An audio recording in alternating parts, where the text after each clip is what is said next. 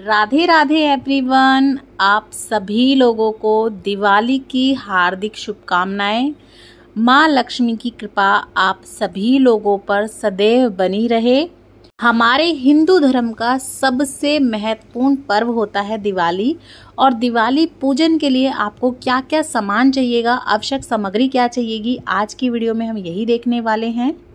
तो देखिए, सबसे पहले तो आपको दिवाली पूजन के लिए चौकी लगानी होती है। आप चाहे तो बड़ी अच्छे से प्रॉपर चौकी भी लगा सकते हैं, नहीं तो आप छोटी सी भी कोई पट्टा वगैरह रख के माता रानी को विराजमान करके पूजा कर सकते हैं। और इस तरह का कैलेंडर आप ज़रूर से ले लें, जिसमें जो है आपको सरस्वती माता, लक्ष्मी माता, गणपति भगवान, षोडश मातृका और कुबेर भगवान सभी का जो है चित्र मिल जाता है तो ये भी बहुत अच्छा रहता है। दिवाली वाले दिन इस तरह के पोस्टर बहुत आसानी से मिल जाते हैं तो आप ये ले लीजिएगा। साथ ही में जैसा कि मैंने आपको बताया, छोटा सा कोई पट्टा या चौकी ले लीजिएगा आप माता रानी को विराजमान करने के लिए। और हो सके तो आप माता लक्ष्मी की पूजा में लाल रंग का आसन लीजिएगा। सर्वप्रथम हमें चाहिए माता लक्ष्मी और भगवान गणपति की मूर्ति। तो देखिए, आप चाहे तो मिट्टी की ले सकते हैं या तो धातु की ले सकते हैं।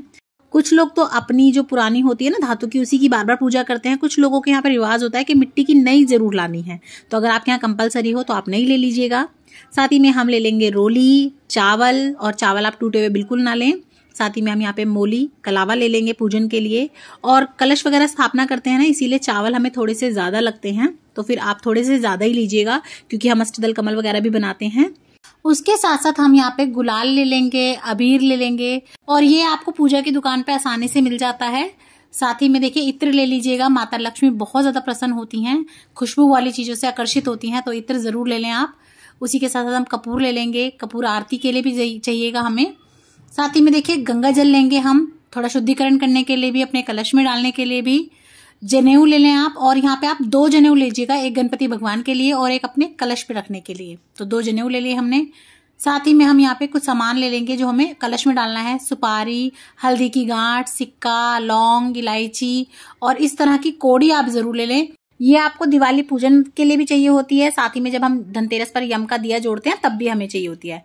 साथ ही में हमें गोमती चक्र लेने होते हैं। तो देखिए आप पाँच सात ग्यारह इक्कीस कितने भी ले सकते हैं। तो इनका पहले पूजन किया जाता है उसके बाद इन्हें साल, साल भर के लिए संभाल के रखा जाता है माता लक्ष्मी की कृपा के लिए। साथ ही में हम धूप ले लेंगे और आप अगर चाहें तो इस दिन हवन कर सकते हैं। तो आप हवन सामग्री और समिधा वगैरह भी ले लीजिएगा। उसी के साथ साथ देखिए, हमें पूरी रात जोड़ने के लिए एक दिया चाहिए होता है। तो इस तरह का आप चाहे तो मिट्टी का ले सकते हैं। अधिकतर तो ये मिट्टी का ही यूज़ होता है। नहीं तो आप अगर आपके घर की कोई अखंड जोत वगैरह है तो उसमें जला लें। नहीं तो कटोरी में भी आप लगा सकते हैं।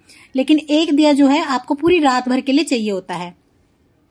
उसी के साथ साथ देखिए, हम यहाँ पे अनाज लेते हैं तो इस तरह से आप पाँच अनाज, सात अनाज ले सकते हैं। तो आपकी रसोई में ही आसानी से आपको ये सब मिल जाएँगे। जैसे साबुत धनिया है और बाजरा है, गेहूँ है, मक्का है, जौ है काले चने हैं, साबुत मूंग है, तिल है, और धनिया तो आप धनतेरस वाले दिन ज़रूर से खरीद के लाएँगे ही लाएँगे। बाकी चीज़ें आपकी किचन में मिल जाएँगी, आप वो ले लीजिएगा आप। साथ ही में देखिए, कलश स्थापना करने के लिए हमें कलश चाहिएगा। कलश आप चाहें तो किसी धातु का ले लें, अपने घर का, या फिर आप मिट्टी का नया भी ले सकते हैं। कलश पे रखने के लिए हमें चाहिएगा नारियल। और नारियल पे आप चाहें तो कलावा लपेट दें, नहीं तो आप एक चुन्नी ले सकते हैं, या लाल रंग का कपड़ा ले लें, सवा मीटर। साथ ही में देखिए, हमें ये चाहिएगा, कुछ सामान। दिवाली है तो खील पताशे खिलौनों को तो कैसे भूल सकते हैं? दिवाली पूजन में इनका विशेष महत्व होता है। खील, पताशे, खिलौने, चावल के लड्डू, इस तरह से जो भी चीज़ें स्पेशल होती हैं दिवाली की, आप वो ज़रूर से ले लें। उसी के साथ साथ देखिए, हमें चाहिए कि बाती दिए जोड़ने के लिए। तो आप चाहें तो इस तरह की रुई की बाती लंबी बनी हुई ले सकते हैं, गोल भी लगाते हैं कुछ लोग तो अगर आप लगाते हैं गोल तो आप ये ले सकते हैं। नहीं तो आप इस तरह से खुली रुई ले लें और घर पे भी आप अच्छे से अपने आप बट बट के बाती बना सकते हैं। तो आप चाहे पैकेट ले लें, चाहे तो इस तरह से रुई ले सकते हैं आप। उसी के साथ साथ देखिए, हमें चाहिएँगे ये सबसे मेन चीज़ दिवाली के दिए। तो देखिए, दिवाली है तो दिए तो बनते ही हैं और खूब सारे दिए जलाइएगा आप। आप अपने घर में चाहे कितनी सजावट कर लें, चाइनीज़ लड़ी के साथ और जो लाइटें आती हैं, लेकिन जो दिवाली का त्योहार दियों से होता है ना, वो किसी से नहीं होता।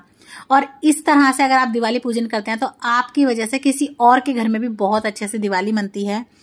और हमारा हिंदू धर्म भी दियो को जो है बढ़ावा देता है तो आपको भी ज़रूर से दिए लगाने चाहिए दिवाली पे। और हो सके आप उतने दिए ज़रूर से लगाएँ, ज़्यादा से ज़्यादा लगाएँ। उसके बाद देखिए, यहाँ मैंने खीर ले ली है।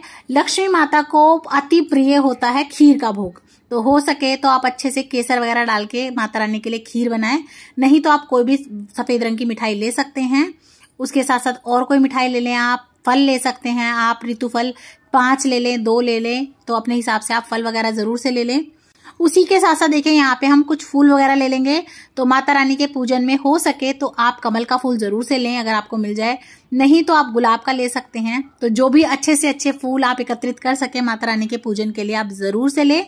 फूल माला ले सकते हैं अगर आपकी मूर्तियाँ बड़ी हैं। अच्छे से दरबार को सजाएँ, मंदिर को सजाएँ, घर को सजाएँ, दहलीज का पूजन ज़रूर से करें, बंदरवाल लगाएँ। और हो सके ना तो आम के पत्तों की बंदरवाल आज के दिन आप ज़रूर से लगाएँ। तो देखिए, यहाँ पे मैंने ये आम के पत्ते ले लिए हैं, कलश के लिए, साथ में दूरवा ले ली है और एक मैंने साथ ही में यहाँ पे लिया है पान का पत्ता माता रानी को भोग लगाने के लिए। और अगर आप लक्ष्मी दीपक प्रज्वलित करेंगे दिवाली वाले दिन तो फिर आप पान के पत्ते दो ले लीजिएगा। धनतेरस वाले दिन और दिवाली वाले दिन मोर पंख भी ज़रूर से खरीद के लाया जाता है और पहले माता रानी को पूजा में अर्पित भी किया जाता है। बहुत ही अच्छा रहता है। तो आप मोर पंख ज़रूर ले लीजिएगा, चाहे तो आप सिंगल ले लें या तो इस तरह के जो बने हुए आते हैं ना तो आप वो ले सकते हैं। कुछ सुहाग का सामान ले लें आप माता रानी को चढ़ाने के लिए। तो आप चाहें तो एक बिंदी का पत्ता ले सकते हैं, चाहे तो दो तीन चीज़ें ले लें। तो यहाँ पे हम सुहाग का सामान भी ले लेंगे। साथ ही में धनतेरस वाले दिन जो भी आपने सामान खरीदा होगा, चाहे वो सोने का हो, चांदी का हो, या धातु का आप ले सकते हैं, पीतल का, तांबे का, या कोई बर्तन वगैरह भी आपने खरीदा हो तो वो भी आप आज के दिन पूजन में ज़रूर से रखें। पहले लाई हुई उस चीज़ का पूजन करेंगे दिवाली वाले दिन, और उसके बाद आपको उसे जो है यूज़ में लाना होता है। साथ ही में देखिए, आप कुछ दक्षिणा ज़रूर से रखें पूजा के लिए तो अपने यथाशक्ति अनुसार हम कुछ दक्षिणा रख लेंगे। और लक्ष्मी माता के सभी स्वरूपों की पूजा की जाती है, दिवाली पर, धनतेरस पर। तो उसी में से झाड़ू भी ना, लक्ष्मी माता का ही एक स्वरूप होता है। तो आप झाड़ू खरीद के भी लाएँगे और झाड़ू का पूजन भी ज़रूर से करेंगे। तो देखिए, ये वो सामग्री है जो हमें दिवाली पूजन के लिए चाहिए होगी। बाकी देखिए, इसके अलावा आप चाहें तो कितनी भी सामग्री को बढ़ा सकते हैं। आप मिठाइयाँ और बढ़ा लें, साजो सामान इतना और बढ़ा सकते हैं। बाकी जो बेसिक सामग्री है, वो तो इतनी लगती ही है। और आप बिल्कुल ही सरल तरीके से पूजन करना चाहते हैं तो उसका वीडियो भी चैनल पे है, आप उसे भी चेक कर सकते हैं। वैसे हिंदुओं का जो है ना, सबसे महत्वपूर्ण पर्व होता है दिवाली। तो इसे जितना धूमधाम से मनाएँगे, माँ लक्ष्मी उतनी ही जो है प्रसन्न होती हैं, उनकी कृपा उतनी ही होती है। और दिवाली का आप पूजन कैसे कर सकते हैं, धनतेरस का पूजन कैसे कर सकते हैं, दिवाली के बाद आप गोवर्धन पूजा कैसे करेंगे, सभी का वीडियो चैनल पे आ चुका है तो आप उन्हें भी ज़रूर देखिएगा। सभी की मैं एक प्लेलिस्ट बना के लिंक डिस्क्रिप्शन बॉक्स में डाल दूँगी। और अगर वीडियोस आपको पसंद आती हैं, थोड़ी बहुत भी यूज़फुल लगती हैं तो ज़्यादा से ज़्यादा शेयर कीजिएगा अपने फ्रेंड्स एंड फैमिली के साथ। और अभी तक अगर आपने चैनल को सब्सक्राइब नहीं किया है तो प्लीज़ सब्सक्राइब कर लीजिएगा लाइक शेयर करना बिल्कुल भी मत भूलिएगा। और भी इसी तरह की वीडियोस देखने के लिए चैनल पर बने रहिएगा।